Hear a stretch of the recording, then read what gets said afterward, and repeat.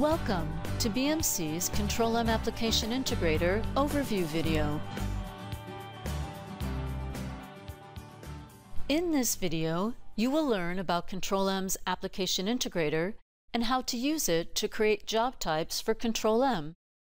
Usually, companies use various applications in their IT environment. Control M provides native integration of many of those applications.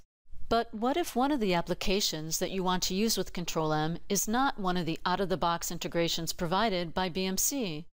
You can use the Application Integrator to create custom-designed job types to manage workflows from any application. In the Application Integrator, to create a job type, you define job operations and determine how you want the job type to appear in Control-M. After you create the job type, it appears in Control-M in the Job palette and in the Control-M Workload Change Manager and self-service interfaces. You can then begin using it in your job flows. Let's take a closer look at how you create a job type. To do this, we will create a tar job type to compress and extract files. On the home page of the Application Integrator, we'll click Create Job Type. In the Display Name field, we'll enter tar. This text appears in the Job Properties pane in Control-M and in the Job palette. Next, let's choose the icon that we want to appear in the Job palette. A default value for the plugin ID is automatically entered. Here, you enter a description. In the Application Support Team and Application Team email fields, enter the name of the team responsible for this application and their email address. If there is a problem executing these jobs, this information will appear in the job log. We are creating a command line interface type, so we will leave the default value.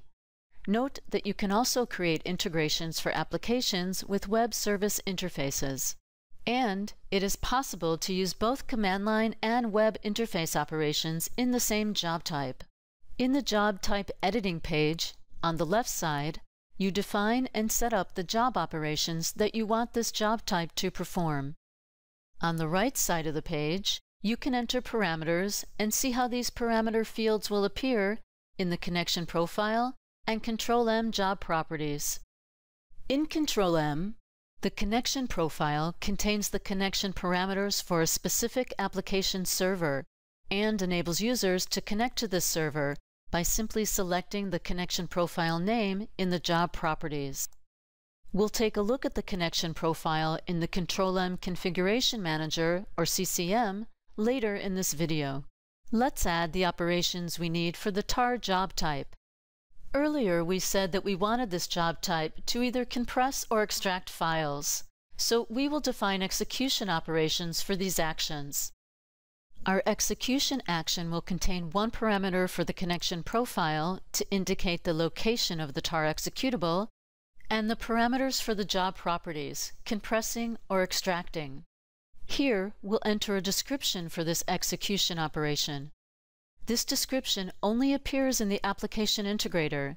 It's a good idea to use a meaningful description so you can quickly identify the execution operation.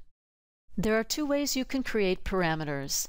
You can enter parameters and related field information directly in the command line area, or you can add parameter fields in the Job Properties Designer area first and then use them in the command line area.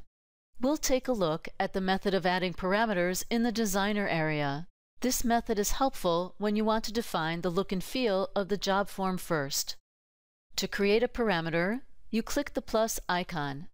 For each parameter that you create, you enter the parameter name, the field label that will appear in the Job Properties form or connection profile, and then select the type of field that you want.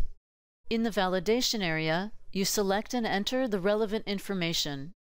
These parameters were prepared in advance.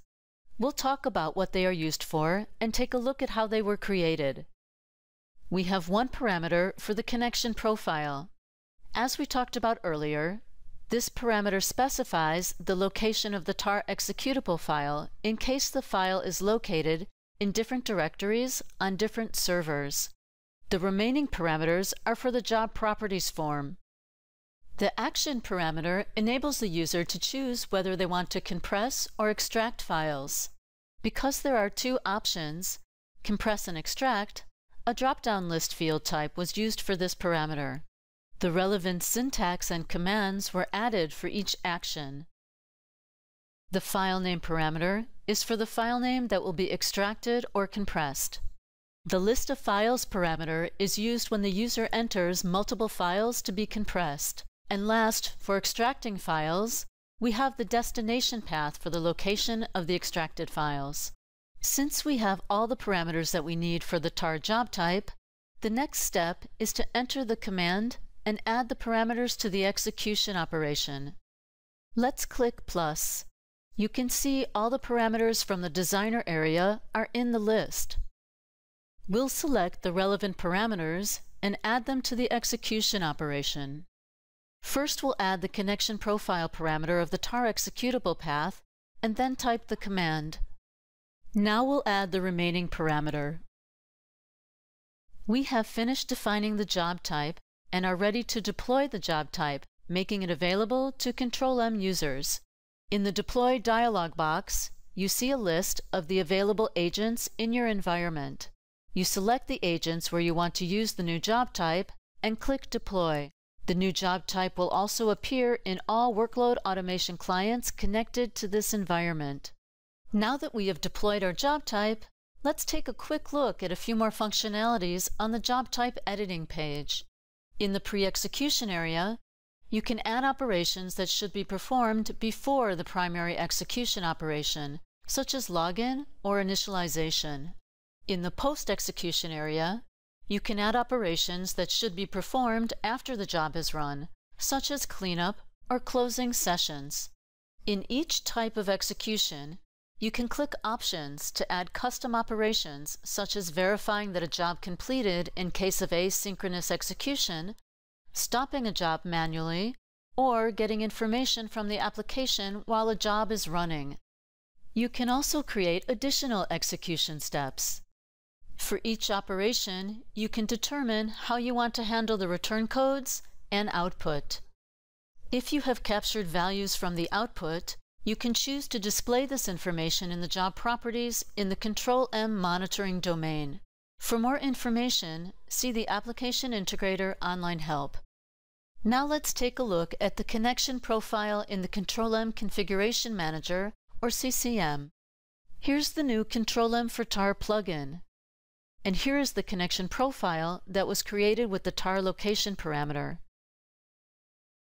Now let's look at the job type in Control-M's planning domain. In the planning domain, you can see the TAR job type in the job palette. Let's use the job type that we created in a job flow. Here in the What area are the fields that we created for the TAR job properties. The job properties that we see here also appear in the other domains. Let's review what Control-M's Application Integrator can do for you.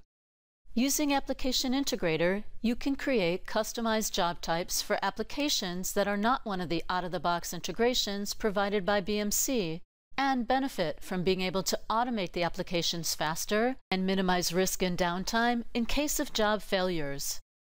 You create a new job type by defining the operations that you want the job type to do. Once you have added all the necessary parameters for the connection profile and job properties, you deploy the job type. The new job type's connection profile appears in the CCM and is available in the job palette in Control-M's planning domain for you to use in job flows. Visit the BMC Control-M Application Integrator community to find job types shared by BMC and other customers. You can also contribute your own job types to the community. Thank you for watching this video. To find out more information about the Application Integrator, see the online help.